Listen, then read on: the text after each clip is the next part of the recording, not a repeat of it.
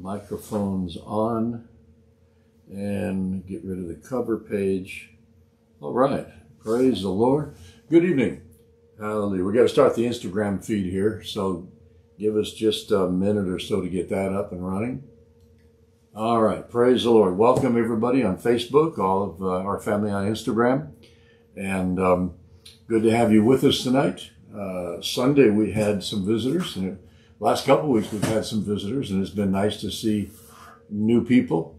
And uh, I believe as we continue to get the word out to people and tell them about uh, you that are viewing, tell people about the broadcast. If you're getting blessed, uh, you can tell other people about the blessing and uh, how they can reach us. So I think I've sent each of you a, a card. Uh, I, I, think when I send out this month's uh, newsletter, I'll, I'll add another card in there so you can give one to somebody or at least give the information out if you don't have it. But praise God. Good to have you with us. For those of you that don't know who we are or who I am, Pastor Bill Emmons, uh, Covenant Faith Center, Covenant Faith Center Ministry or CFC Ministries International. Uh, 44 years pastoring a church in uh, North LA called uh, Chatsworth, California. And then last year, God uh, had us to relocate to the Tulsa area. And in obedience to what the Lord told us, we've moved here and we're operating our ministry from this location. But we're ministering all over the world. Our viewership has gone from an average of 50 to 75 people per week to, you know, close to 15,000 people per week. And uh, we're believing for 20,000 average. Once we get to 20,000, we'll let it ride for two or three weeks to make sure it's going to continue around that number. Uh, but then we're going to believe God for another 5,000, go up to 25,000. I got big goals. That's the way God is. He never stops creating.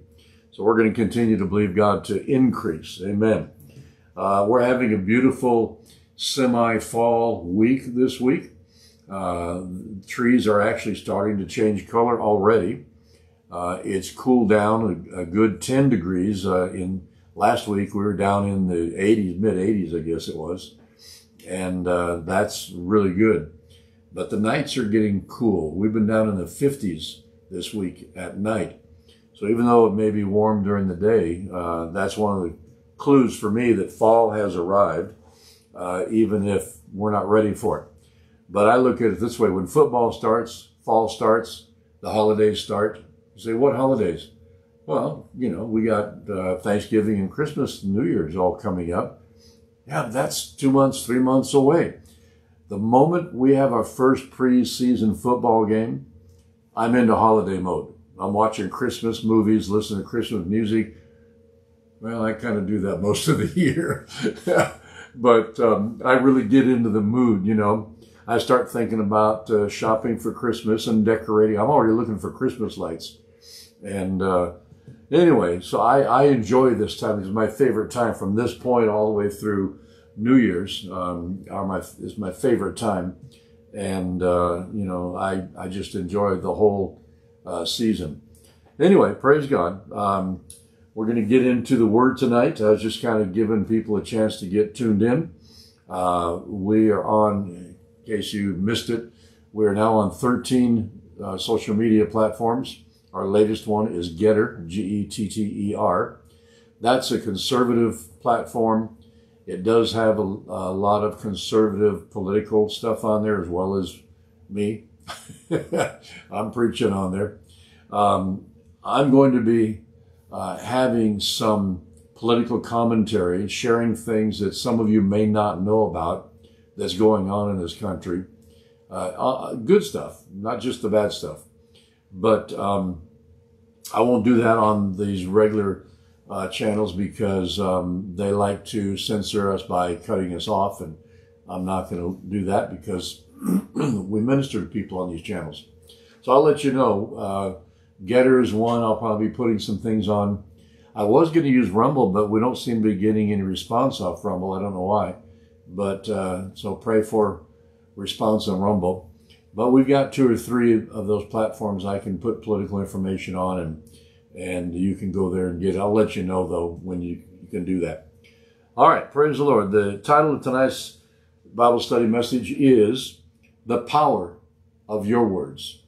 Not just the power of words, which is vital and important because if you don't understand the power of words, you're missing out on a tremendous uh, opportunity to flow in the miracle working creative power of God.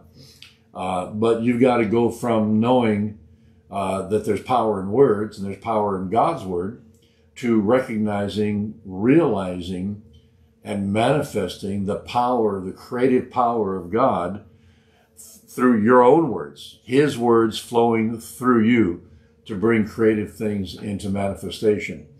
And Pastor Mary shared some things with you Sunday. I think I followed up with a couple of short testimonies of, of um, the example that God used me to show her how we can pray for things. Uh, I, I, prayed for a stereo that went out and it got healed and restored and began to work perfectly after burning up. Uh, I prayed for a speedometer that broke and quit working for months, if not over a year. And one day it just popped up and started bouncing and came back to life and worked as long as we had that car. Uh, and then Pastor Mary remembered that and the Holy Spirit ministered to her. She went and laid hands on the dryer and the dryer is working today. You know, it's been working uh, for what, a month now? Mm-hmm. Something like that. So we, we have to understand there's creative power in our own words. But we have to get to the point that we get the revelation, we get our mind renewed to that so we can actually believe that we have that kind of creative power through our own words. Uh, we have to build the faith for it in our hearts through meditating the Word of God. And then we've got, get, got to get control of our tongue, the way we've been talking, so that we change our words, we change our speech, and we begin to align our conversations with the Word of God. Not that you got to go around quoting the Word all the time, but you have to begin to understand that uh, the, you're already getting the things you're saying. And if you don't like the way things are, uh, you probably can go back before now and think about the amount of times you've talked negatively about the situation you're dealing with or the negatively about the circumstances that led up to what you're dealing with. Uh, when the Bible says you can have what you say, or, or we that are in this uh, teaching say this, uh, that's not just a saying. It's not just a positive statement. You know, well, you guys are positive this and positive that. No, we're word people. We preach the word, we teach the word, we speak the word, we live the word. When we pray, we pray the word. Or we pray according to the word. We, we don't always go around quoting verbatim every scripture, but we take what God said and we put it into a declaration of faith, a confession of faith, a prayer of faith, uh, when we go to the Father. I mean, stop and think about it. If you got an appointment with the president of a corporation and you wanted to give important, vital information that would help that corporation, um, you would first want to find out what that president, the way he thinks, the way he believes about his business. Uh, you'd want to know what some of his goals and visions are so that you could relate to him when you go in there. You're not going in cold and, and ignorant of his attitude toward things. You're trying to get a politician to do something. Find out what they've been, how they've been voting, what they believe and think and speak. A lot of it you find out by the way they talk. And you want to get them to change something. You, before you go sit down with them, find out all that stuff so you know what their thinking is, and then go in there with a plan. Go in there with uh, the answers. So when we go to God in prayer, uh, we, we go to God with His Word.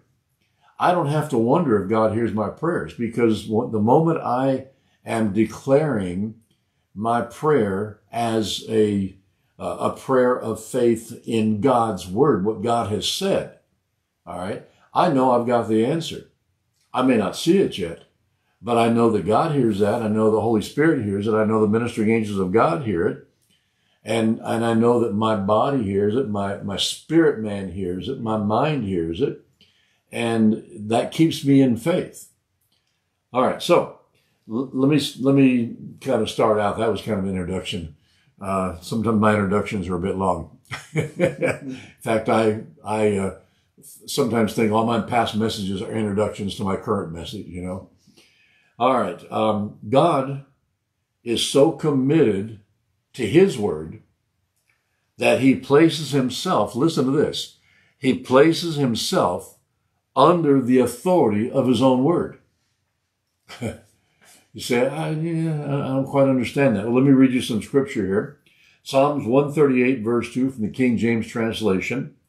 I will worship toward the holy temple and praise thy name for thy loving kindness and for thy truth. For thou hast magnified, now listen, the psalmist is writing, talking to the Father. He says, Thou hast magnified thy word above the, all thy name. Now, I like what he says, all thy name, because uh, God is not his name. I know I'm, I'm over driving this volume here. I'm going to tune it down a little bit. Um, right back here, I have my bookmark that the Holy Spirit had me make. And I think it has 14 of the names of God. So when you read a verse like that, it says, all thy name, it incorporates all those names, all 14 names of God that are listed in the Bible, things that God calls himself. He says, uh, uh, I am Elohim, Almighty God.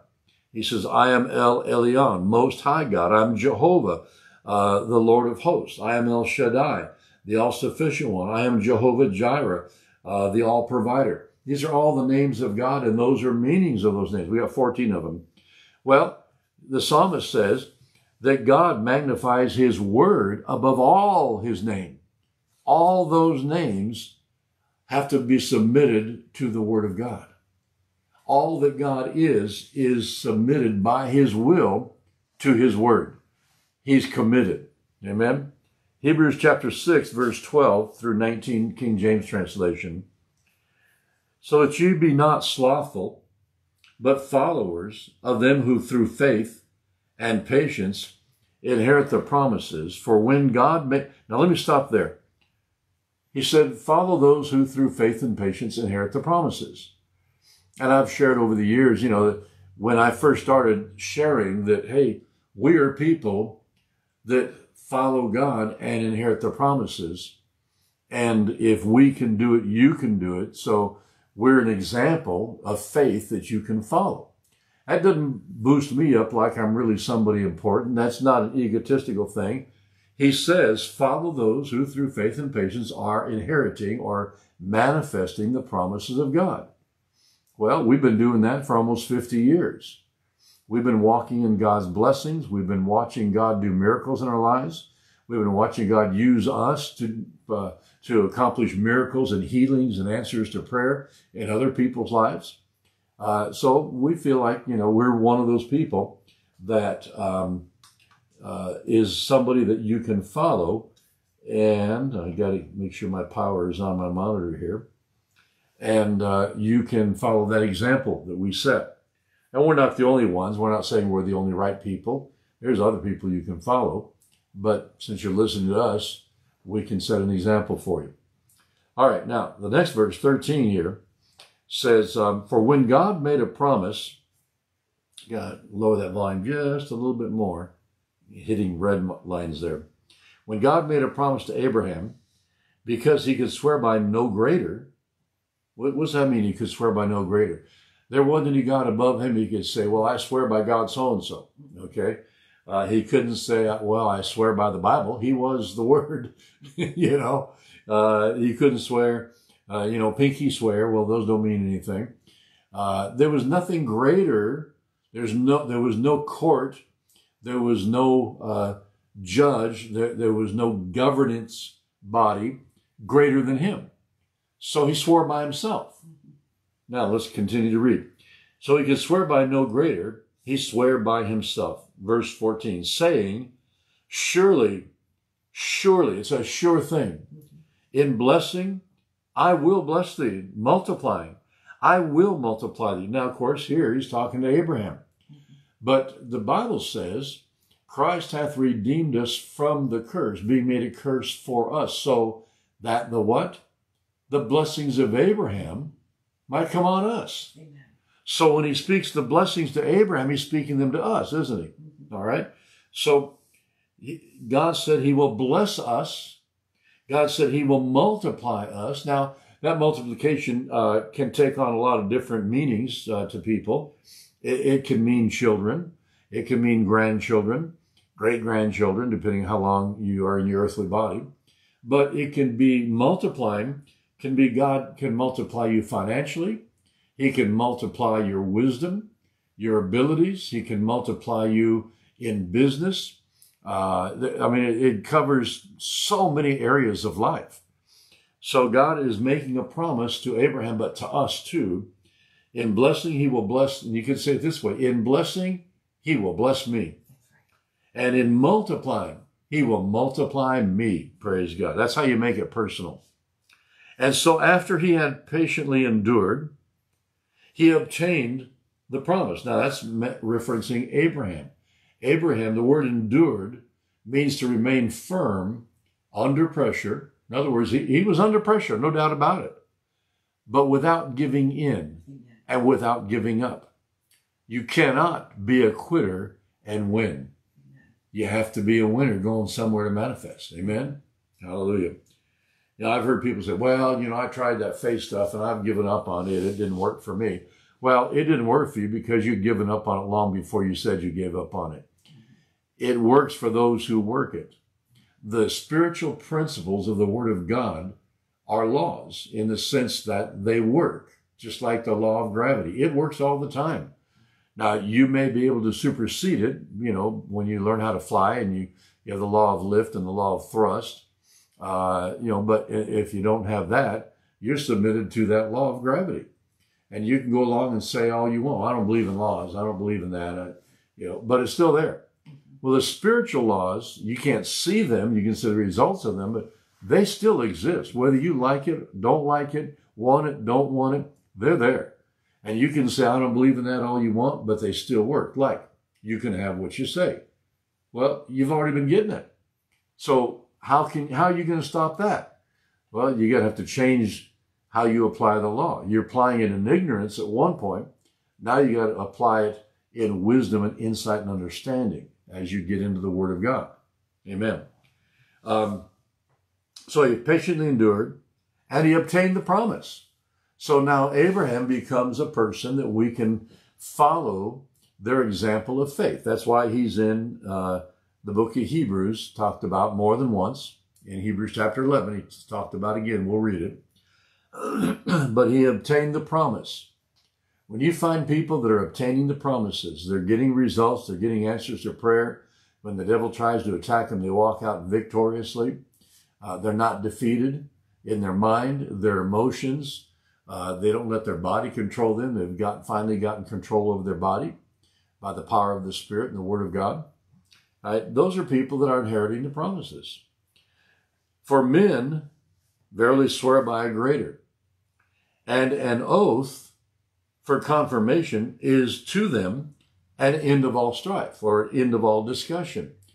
When you go to court and you put up your right hand, you say, uh, I swear, lay my hand on the Bible, I swear that the oath I'm about to give is true, and, and so on and so forth. Well, you're, you're creating an oath with swearing on the Bible, which is supposed to make you honest. Some people, they lie right out, you know, no matter what. But when you swear in the Bible, you swear as a witness. They accept that as truth unless they have evidence to prove you wrong. Okay. If they don't have that, then they accept your testimony. You say, well, I was there. I'm an eyewitness. I'm not a second party witness. I, am not, it's not hearsay. I saw, I heard. Okay. They accept that as a witness. Once you swore, that's the end uh, of, you know, doubt as long as you've got the proof. All right. So, uh, let's see. Verse 17, wherein God, willing more abundantly to show unto the heirs of promise. Now, stop there. Uh, in the New Testament, the Bible says that is not the heirs of Abraham by blood or by flesh that are his true heirs. The true heirs of Abraham are the people that are living by faith in the Word of God. faith in Jesus, the Messiah, faith in the healing power, the redemptive work of Jesus. He says those are the two children or offspring of God. So that's us. Amen. So, more willing to uh, show more abundantly unto the heirs of promise, so he's talking to us, the immutability of his counsel. And he confirmed it with a promise. Now, now, immutability there, I looked it up and it means unchangeable. It's unchangeableness. It, it cannot be changed. It's written in stone, if you understand that terminology, okay? So he wanted to uh, show the heirs, that's us, the unchangeableness of his counsel or his word and confirmed it with his promise by an oath. So God gave us two things we can count on. Number one, he gave us his word. Number two, he swore by himself. Now, what does that mean?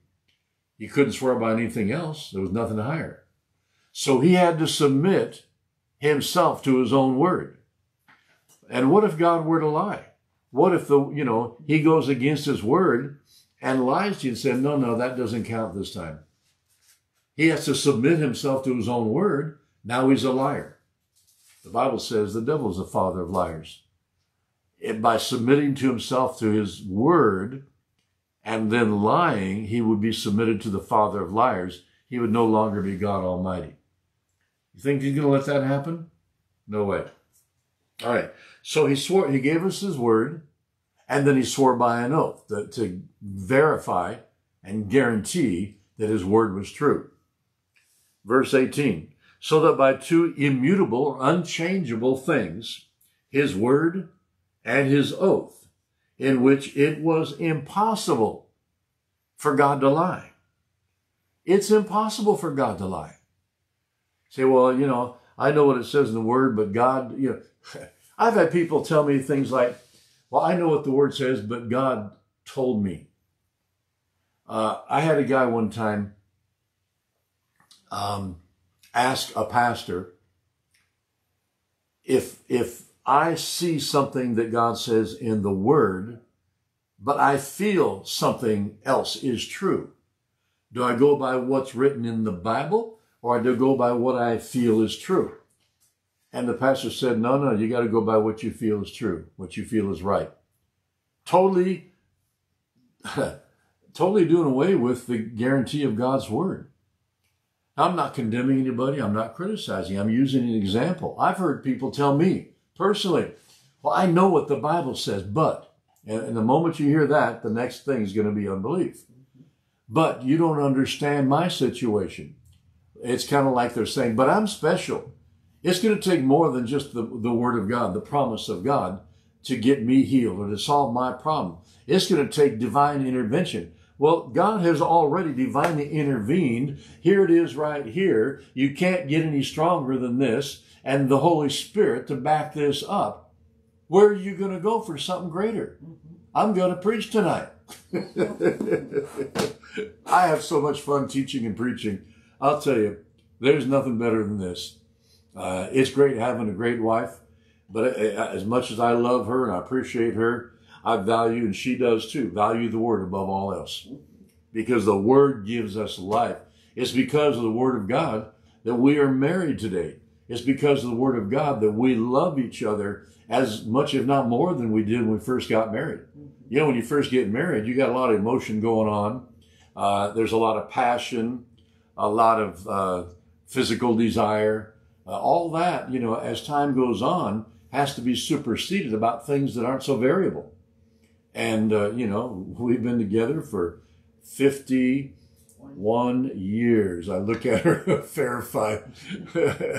it changes every year, you know. Anyway, 51 years, and we live, love each other more, I think, today than we ever have. Uh, the other day, Pastor Mary, we were talking. She says, I really enjoy being around you. I thought, well, that's nice. Nice. She enjoys being around. I and I said, I enjoy being around you too. You know, we have fun together. We play together. We do things together. Uh, we we like doing stuff together. We go places together. We you know we find things that we both can enjoy and we go do it. You know, but say, well, what's that got to do with what you what you were talking about?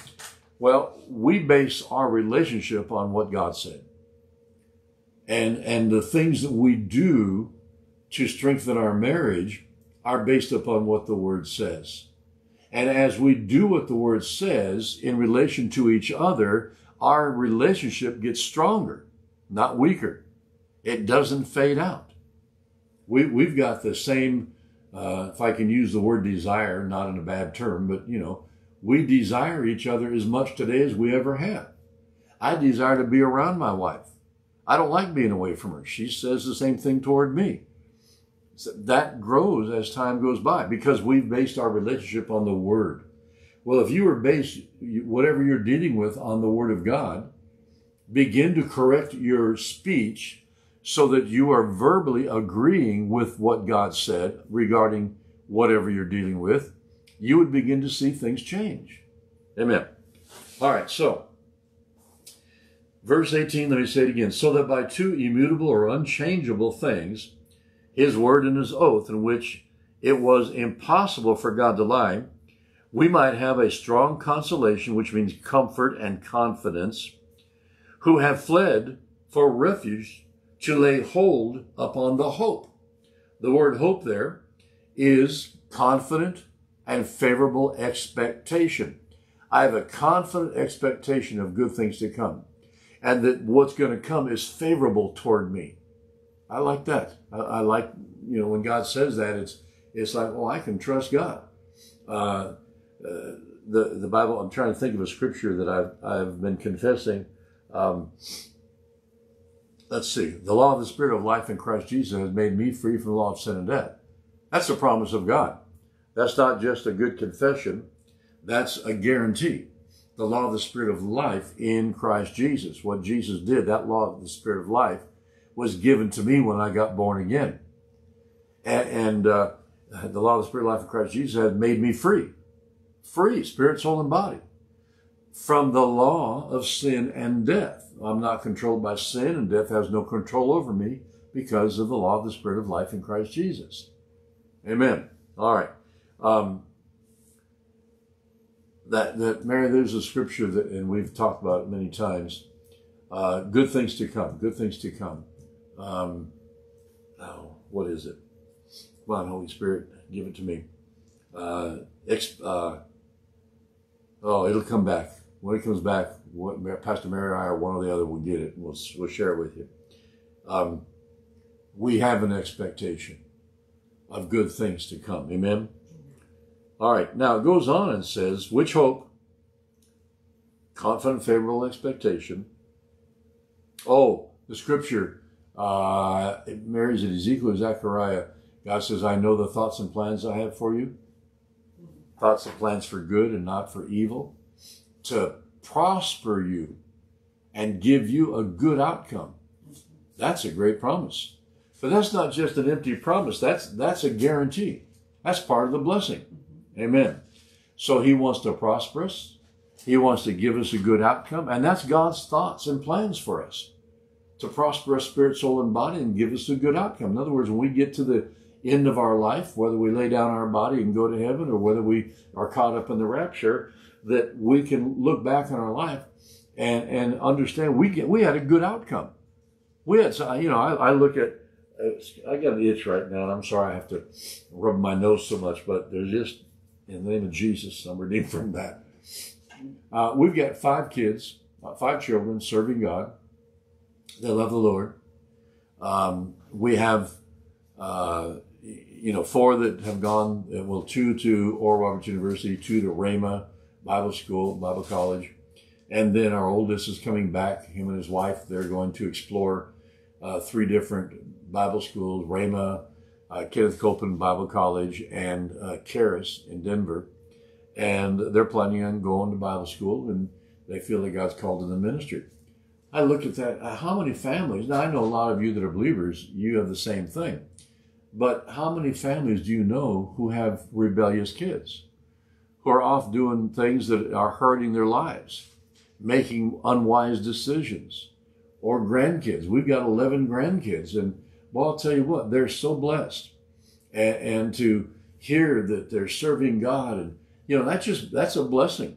And, and you know, if we're here long enough uh, before the rapture takes place, and any of our grandkids end up getting married and having children, they'll make us grandparents, not just no, they make us great grandparents. We're already grandparents. Hallelujah. But I expect that all my offspring will serve God all the days of their lives. I expect that because God declares certain promises regarding your family. That's the promises he talked about with Abraham. All right. So, verse 19, for which hope, confident, favorable expectation, we have as an anchor of the soul, both sure and steadfast, which entereth into that within the veil. Now that those that wording may not uh, clarify it much for you. That's King James. So let me read it out of a couple of different translations. I think I'm going to read it out of three others. So Hebrews 6:19, just that verse, out of the Amplified Bible. Now we have this hope as a sure and steadfast anchor of our soul. It cannot slip. The hope cannot slip, and it cannot break down under whosoever steps out upon it.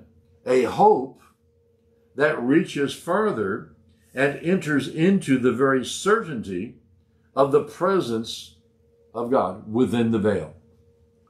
Now we're getting a little more clarification on it. Let's go to the Passion translation. We have this certain hope, like a strong, unbreakable anchor, holding our souls to God Himself. Our anchor of hope is fastened to the mercy seat, which sits in the heavenly realm beyond the sacred threshold. Well, the mercy seat is the throne of God. That's where He sits. That anchor of hope is fastened to that. So our hope because of the promises of God, take us a direct line connection to the mercy seat of God. That's why the Bible says, come boldly before the throne of grace, God says, to obtain and obtain, not to, but and obtain help and mercy in time of need. Now that ought to give you hope, that you can obtain help and mercy when you have a need. But you know, you need to know what God says. You need to know what the Word says. When you go to God, again, like going to the bank president or going to uh, some um, some governmental uh, person, trying to get them to look at things your way. You, you're going to study about who, what they believe and what they think before you go in, so you're talking on the same plane.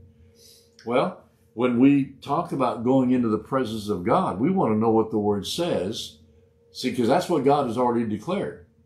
And once I know what God has declared, I can go to God on the basis of his own promises that he swore by himself to uphold. And I can say, Father, you said, and because you said it, I believe it and I declare it is mine in the name of Jesus. And God will never argue with you about that. He said, put me in remembrance of my word. You know, that wasn't, he didn't say that because he kept forgetting. He doesn't forget. He said it so we would remember and we would then bring his word back to him. He said his word won't return void without accomplishing what he's purposed it to do. So when I take his word on healing or on provision or on protection, whatever it might be, I take it to God in prayer and I say, Father, your word says, in other words, you said, and I declare what his word says. And now I'm talking on his level because that's his own word, which he swore by himself to uphold. And I say, Father, I, I am now coming before you and I declare according to your word that I believe that I received this because you said it. You swore to it. Hallelujah. All right. Uh, Hebrews 6.19 from the Passion Translation. We have this certain hope like a strong, unbreakable anchor holding our souls to God Himself. Our anchor of hope is fastened to the mercy seat which sits in the heavenly realm beyond the sacred threshold. That sounds a lot like uh, the Amplified Bible. Let's go to Hebrews. Now, this time I want to read a couple more verses. Let's start verse 18 uh, in the message translation. All right. Hebrews 6 18. God can't break his word. Now, this is the message translation. And because his word cannot change, the promise is, is uh, likewise unchangeable. We who have run for our very lives to God have every reason to grab the promised hope with both hands and never let go. It is an unbreakable spiritual lifeline. Oh, I like that. Reaching past all appearances right to the very presence of God, where Jesus, is verse 20, running on ahead of us, has taken up his permanent post as high priest. Turn the page. high priest for us in the order of Melchizedek. So what is that? That adds another insight. Jesus went on before us. He's seated at the right hand of God, the Bible says, ever to make intercession for us. So he's there. And when we come before the throne of grace to obtain help and mercy, we're going to obtain help and mercy because Jesus is there on our behalf. And whatever we're messing up in the way we approach and the way we speak things and Jesus is there to help correct it. The Holy Spirit there is, is there to help correct it. So that with them working on our behalf, the Father is able to release His glory, the manifestation of His presence, the manifestation of His nature back into our lives. Hallelujah. This is good. Amen. All right. Now, let me take it a step further. We've still got a few minutes. Think about this statement. We need to become just as committed to our own words as God has been committed to his word. Now let's start with a very simple uh, plan or idea. When you say, I will be there at seven o'clock, if God said he'd be there at seven o'clock, he'd be there. Seven o'clock, he'd be there already. All right we as Christians, I think too many times, we fail to live up to our word. Not consciously, but lazily. We get lazy about it. Mm-hmm. What time does church start? Well, the average church starts at 10 o'clock Sunday morning. And what time do you all walk in? I mean, I, I, as pastoring all these years, I can tell you there's not a week in 40, well, 45 years. Now we, counting even our, our services now online. There's not a week, not a service that goes by that people don't tune in late or people didn't show up to church late. Now, not everybody. Just like, you know, you're here, but there's some people that won't tune in until we're almost done. There's some people that won't tune in at all tonight. They'll tune in tomorrow, the next day, or down the road a few weeks, or whatever it might be. And uh, you know, there's there's maybe some reasons why that's not like on Sunday morning. If you have a home church uh, and you're living in uh, on the West Coast, uh, you'd be in church at the time we're doing our Sunday morning service, which is uh, 10 o'clock uh, Pacific Coast time, but it's noon here in the Central Central time. but how many people that you know go to church come in late? you know, starts at 10 o'clock. Well, you know, it's, uh, it's okay. You know, that's only singing. Uh, singing, praise and worship opens the gates, leads us into the presence of God. Why do we ignore that like it's not important? That's why Sunday morning we have worship uh, in our Sunday morning service here online because that helps you. And if you're here on time on Sunday mornings uh, and you're tuned in, uh, and you start at the beginning and don't just run through till you see me uh, getting ready to preach. That helps get you tuned in, get your mind focused, get your thoughts off all the junk out there that you've been having to deal with. You get focused on God. You get focused on His blessings upon your life. I like to have a uh, praise and worship song where we're praising God and thanking Him, uh, but then a worship song where we're just worshiping the Father for who He is. And that's why, you know, we, we, we do it that way.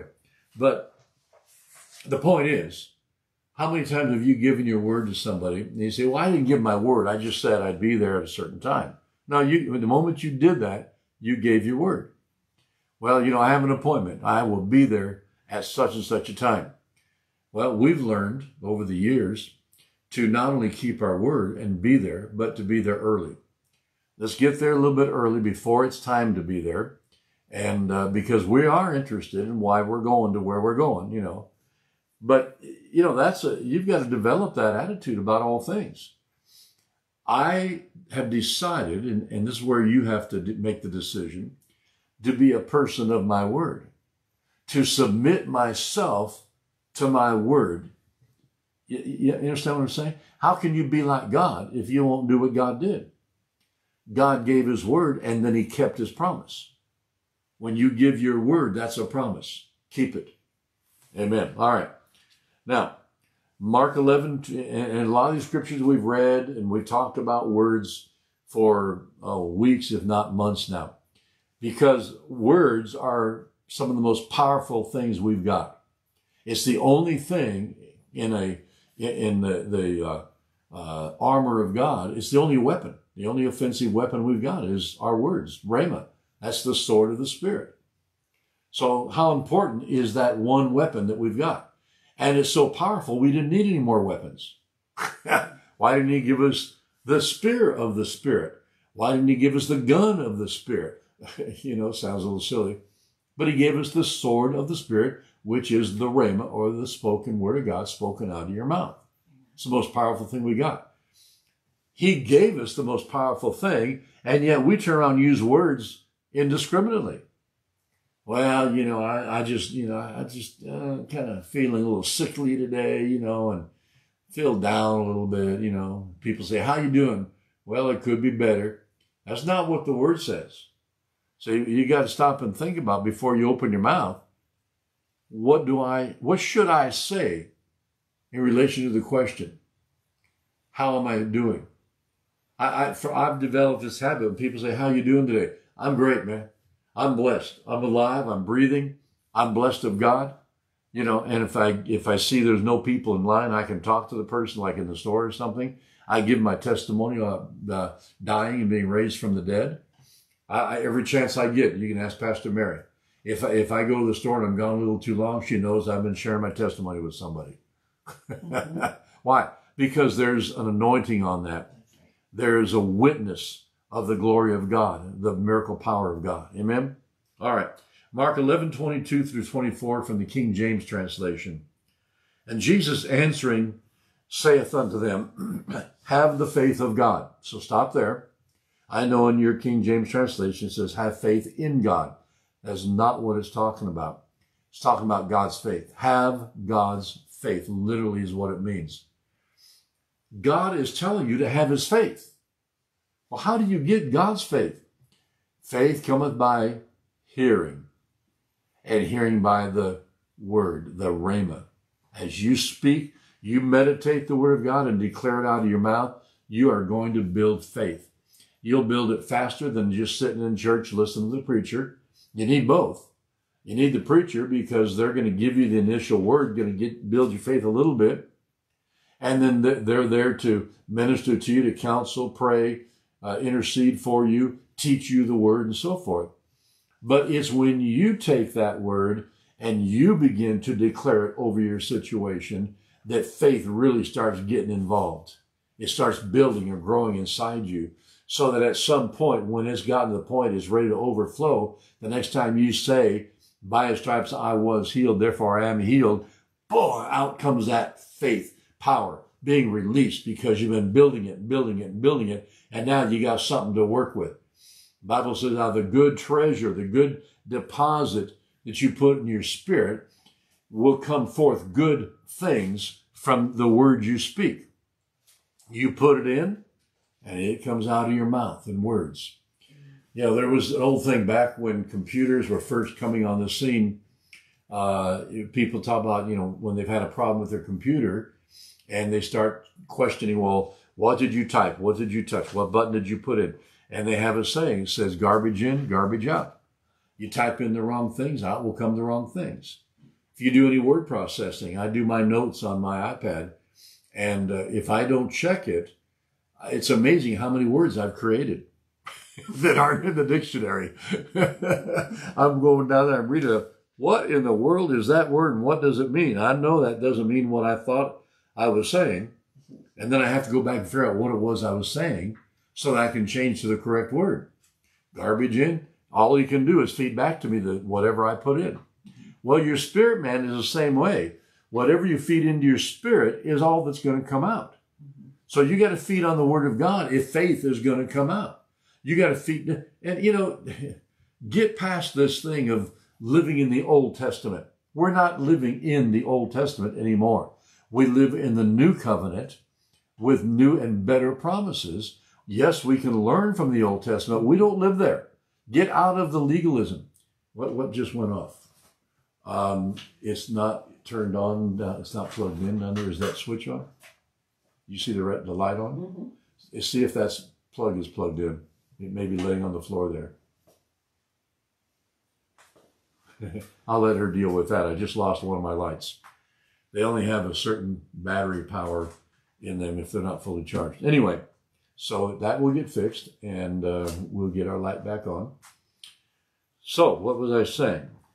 What's going to come out, particularly under pressure, is what you put in. So, you got to stop and think about what you're putting in with the words you're speaking. It's a fairly good sized little plug there. They're all plugged in. They're all plugged in? Mm-hmm. Hmm. Check and see if it's plugged in up there. Is it plugged in up there? There's no. There's no cord. Okay, follow that cord all the way to the end of it and plug it in. we failed to connect the cord tonight. It's all right. It's, it'll work. Um, so, verse 23 says, after he said, Have God's faith, I just told you how, he said, For verily I say unto you that whosoever shall, are you whosoever? Sure you are. Whosoever shall say words unto this mountain, Be thou removed, be thou cast into the sea, and shall not doubt in his heart, but shall believe. It's a key word. There we go. Back on, got our light back. Shall believe those things which he saith shall come to pass. He shall, sure thing, shall have whatsoever he saith. Now, stop there. He said, you can speak to this mountain. Now he's talking about a literal mountain. I mean, he spoke to the wind and the waves. He spoke to fig trees. He spoke to water that turned to wine. He spoke to fish and gold. Uh, he spoke to uh, leprosy. Um, I mean, you just kind of go through and look at all the things Jesus spoke to. He didn't let the circumstance or even the object be part of the problem. He took dominion and he took authority over it and declared the end result. Amen. That's what we've got to do. So he said, have this mountain cast in the sea. Now, shall doubt not in his heart, but shall believe. How do you get rid of the doubt? got to meditate the word of God and build faith. How do you get, how do you get to the point you believe your words are powerful? You believe your words are going to come to pass? You got to meditate on those scriptures that talk about that. You got to meditate on the scriptures that are scriptures of faith for healing, for finances, for a better job, whatever it might be. And when you when you start doing that, you get to the point through the renewing of the mind as you meditate the word, it will renew your mind, and then it will build faith in your heart. When you get your mind renewed and your heart filled with faith, and then your words and your actions, you got all parts of your man, uh, your mind, your will, your emotions, your body, your spirit man, all of the different components are working together in unison. And that's a beautiful thing because that's where miracles take place. Amen. I, um, I, I grew up around music. My, my mother was a musician, singer, um, songwriter to a degree. she led worship at every church we were ever in growing up, put choirs together, cantatas, plays, you know. Uh, so I was around that all my life. And then when I got to junior high school, uh, one of the choices I had uh, for uh, you know one of the free classes um, outside of your standard things that you have to have. It's called an elective. Uh, was uh, music, and I wanted to play an instrument. No, I grew up around that, but nobody ever taught me anything. So I said, "Well, I want to play the guitar." And they said, "Well, we don't have guitar, but we do have bass, and we have an orchestra, and we have a band." And I said, "I'll take both." so I started out in junior high school I was in both the orchestra and the band, and literally within weeks, I went from fourth chair up to first chair. Now, you if you've never been in a group like that, you may not understand that. But you start out at the lowest point when you're brand new. When you start learning and increasing in knowledge and ability, uh, we had then a chance to challenge the person ahead of us, and we would both play the same uh, piece of music and then the, the teacher and the, the rest of the class would then vote on who would did it better. And you get one chance at it, you know, oh, per week. And if you messed up, you get to try it again next week. Um, but I progressed up very rapidly until I was first chair playing the bass. Now, in uh, the orchestra, it was primarily the bass fiddle. In other words, I had a big bow, you know, and then when I got into the band, I got to start doing the plucking and a little more, you know, jazz. Uh, uh, may not be the right word, but a little more spunk to it. Anyway, I went on and, uh, and got into high school, played in the band, played in the orchestra. Uh, friends of mine, we got together and we started our own band and we did, uh, we went to dances. We played the music for dances and, uh, you know, pretty cool. We thought, well, we're going to be musicians, you know, well, uh, there came a, a time in our life that we began to go different directions. And, uh, you know, I, I um, like most people, found myself having to do other things in life that didn't allow me the time or the, the opportunity to continue my music training.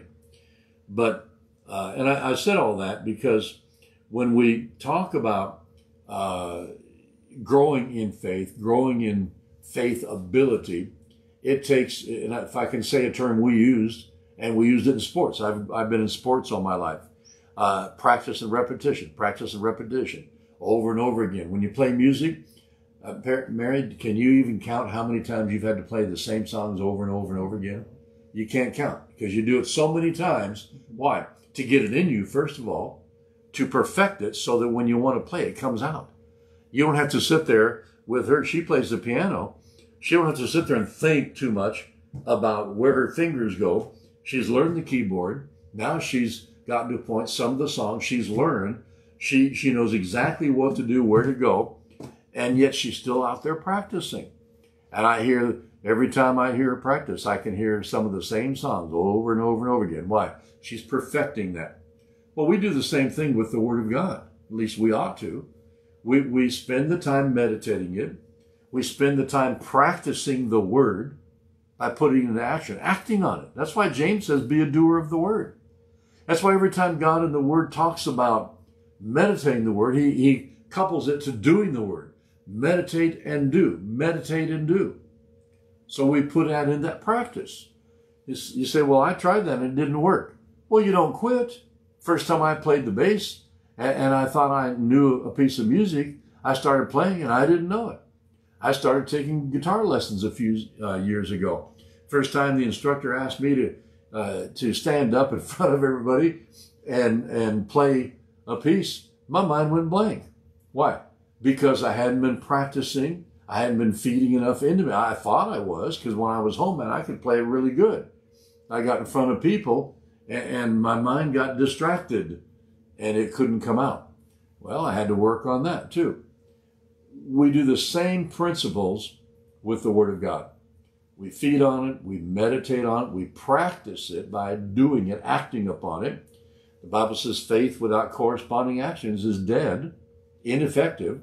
So you got to begin to act out what the Word says in your life. Amen. Matthew, well, let me read verse 24 there, Matthew 11.